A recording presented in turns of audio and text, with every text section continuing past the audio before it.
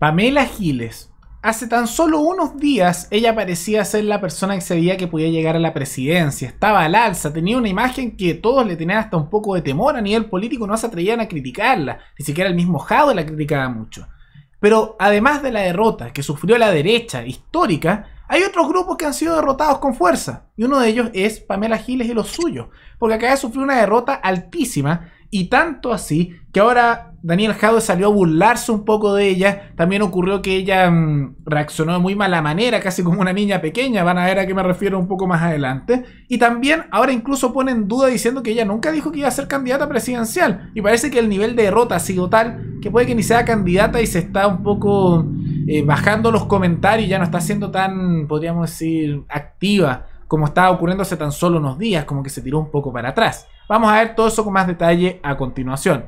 Pero antes, quisiera agradecer al suscriptor MSM Jorquera, que se convirtió en el suscriptor más reciente en decir hacer un aporte voluntario único al canal a través de Flow, dejando el siguiente mensaje. Gracias Paralelo. Saludos.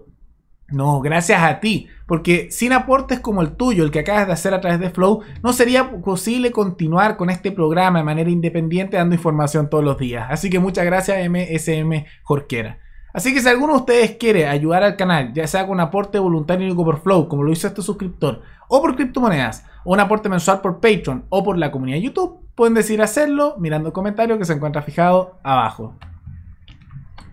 Daniel Jago se burló bastante de Pamela Giles, y vamos a ver por qué. La frase principal de esta burla es eso de, de, cuando dice que parece que los nietitos no votan. Y vamos a ver el contexto de eso, ¿no? Pero en contexto, él dijo lo siguiente. Pamela Giles ha hablado de toda la clase política como una clase política miserable. Ha basureado a todo el mundo. No sabe si es de izquierda o de derecha. Y le tengo una mala noticia. Parece que los nietos no votan. Yo además no conozco a ningún humanista en el mundo, ni ningún humanista en el mundo que sea partidario de la pena de muerte. Entonces, ¿qué pasa con eso?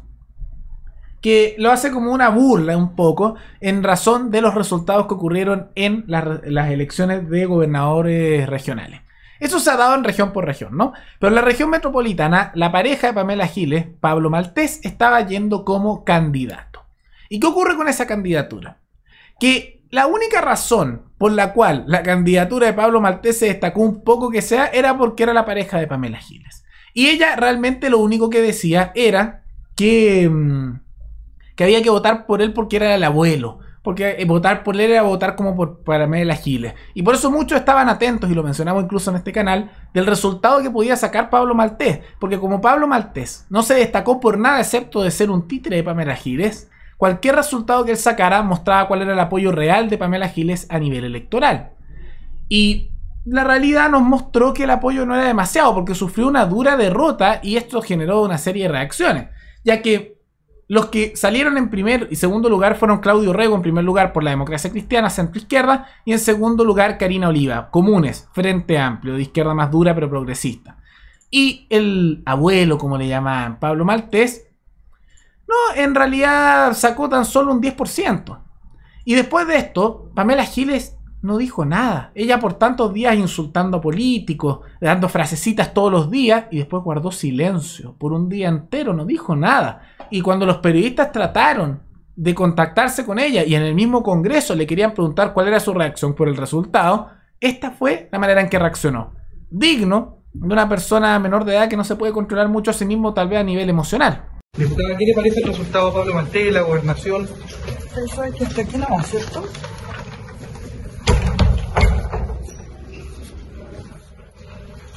Miren, ahí portonazo al periodista, no quiso responder, o sea, no quiso hacer nadie en silencio total. Y después de pasar eso y pasado un tiempo, respondió diciendo que en realidad Pablo Maltés era una persona con un, personaje político que tiene una identidad propia. Esa fue su respuesta y que lo bueno es que esto le había conformado su propia identidad política que era buena, independiente y que tenía un buen futuro. Mucho más formal también la, las respuestas que antes todos los anuncios que hacía. Y eso es mentira. Los políticos mienten, casi siempre, para no decir todas las veces. Y eso lo hacen cuando intentan acomodar nuevamente lo que ellos hacían antes para darlo en un nuevo contexto. Y Pamela Giles está haciendo eso. Porque Maltés, ya lo mencionamos, no se destacó por nada. Lo único que se destacó es que era la pareja de Pamela Giles. Eso fue lo único que lo destacó. Y la misma Pamela Giles lo dijo. No me tienen que escuchar a mí, escúchenla a ella como ella dijo en vivo que votar por él era como votar por Pamela Giles y ese era su único, eh, podríamos decir, gracia. Vengo a votar por el abuelo Pablo Maltés, el abuelo gobernador, lo que significa votar contra el asesino, concha de su madre, asesino igual que Pinochet. Tenemos hoy día que votar por independientes porque la clase política quiere secuestrar nuestra Asamblea Constituyente y tenemos que votar por Pablo Maltés porque eso significa votar por la abuela Pamela Giles, tener un cuarto retiro, un quinto retiro, destruir a las AFP que nos han esquilmado. Votar por Pablo Maltés significa fundamentalmente votar contra el asesino concha de su madre, asesino igual que Pinochet. Bien, bien, Ahí lo vieron, sumado también a, las palabras de Pamela Giles, que bueno, insultando, ¿no? Pero ahí, más allá de la parte del insulto, se ve el contexto de cuando Pamela Giles dice que votar por él es como votar por la abuela. Eso es. Eso es. Maltés no se destacó por nada. Y que ahora Pamela Giles hable de que este es un señor con una identidad política propia que se conformó, es una mentira. Es una mentira enorme. Y esto de derrota que llevó a que Jado se burlara de ella, que ahora incluso la tomen menos en serio y se vea que a nivel político igual mueve gente, o sea, un 10% dentro de la región metropolitana iguales son votos, son cerca de 100.000 votos que sacó. Pero de todas maneras no es el porcentaje que se esperaba. Y la derrota fue tal que incluso por los hechos se empieza a reconocer, porque antes ella decía abuela presidenta, no, que ir por la presidencia, y ahora hizo otras declaraciones, nuevamente mintiendo, alterando un poco la realidad, para darle un contexto distinto a lo que está ocurriendo ahora, tomando en cuenta que antes ella todo el rato decía lo de la presidencia y ahora cambió el discurso. Dijo lo siguiente, no hay tal candidatura presidencial, nunca ha sido proclamada, aseguró el lunes la diputada Pamela Giles a solo horas de haber vivido una dura derrota electoral. Entonces, ¿qué pasa con eso?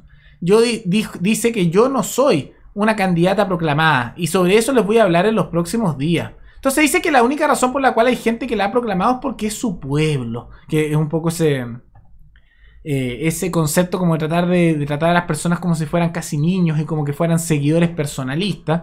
Y em, lo que muestra esto en parte es que se dio cuenta ella que tal vez no tenía el nivel de apoyo que pensaba que en las redes sociales tiene mucho apoyo, todavía pasa, y hay gente que la apoya bastante, pero no es el nivel de arrastre que se pensaba que podía tener.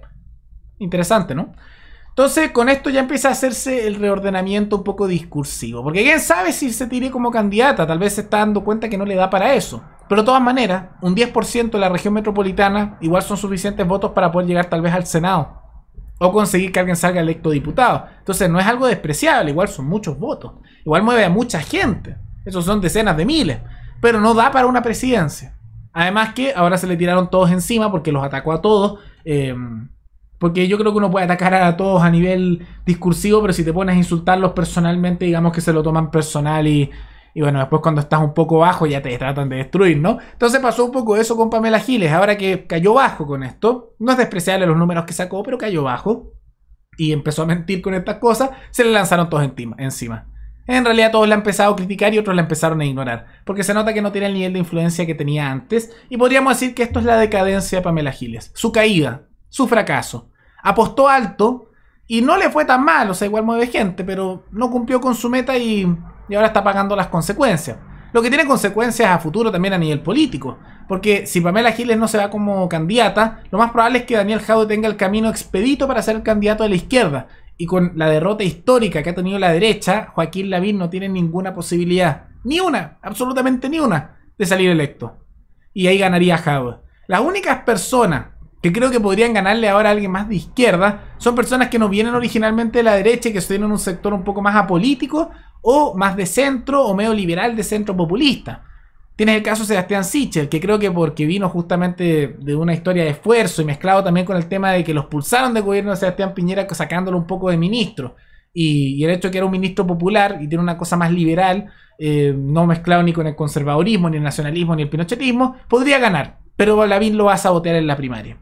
Y otras figuras que no están en carrera presidencial, lamentablemente, para parar un poco esto, que podrían hacerlo bien sería alguien como Franco Parisi, que bueno, no parece indicarse nada, o Farcas. Farcas, si fuera candidato presidencial, tendría todo listo para poder arrasar y convertirse en una persona más de centro. Eh, difícil saber de qué estilo, pero que pase por encima de esas dicotomías, ¿no? Pero como no hay muchas posibilidades de una u otra cosa, porque Sichel probablemente va a ser saboteado por Lavín en la primaria, y París ni, ni Farcas parecen dar indicios alguno de que van a participar en las elecciones presidenciales, todo parece indicar, si esto sigue así, de que Daniel Jadwe sería el siguiente presidente de Chile, un militante del Partido Comunista. Lo que, mm, como sabrán, tiene consecuencias bastante nefastas para nuestro país. Que llegue alguien de una ideología tan totalitaria, tan genocida, tan podríamos decir eh, liberticida, bueno, no puede terminar bien. Pero supongo que es el camino que está eligiendo la población. O más bien las opciones que se le dan a la población. Porque insisto, yo creo que si hubiera otras opciones la gente los votaría antes. Como el caso de un Parisi o de un Farca. Pero como no es el caso, con las opciones que hay, todo parece indicar, aunque todo puede cambiar, que Daniel Jadwe va directo a la presidencia. Pero ¿qué piensan ustedes? ¿Les parece esta decadencia de Pamela Giles algo positivo? ¿Porque no les agrada? ¿O algo negativo porque se potencia Jadwe? ¿Qué piensan ustedes sobre ese tema? Pueden comentarlo abajo. Y recuerden que me pueden recomendar alguna noticia, algún tema, tanto de Chile como de otros países, para otro video. Y que nos veremos en el siguiente programa. Hasta luego.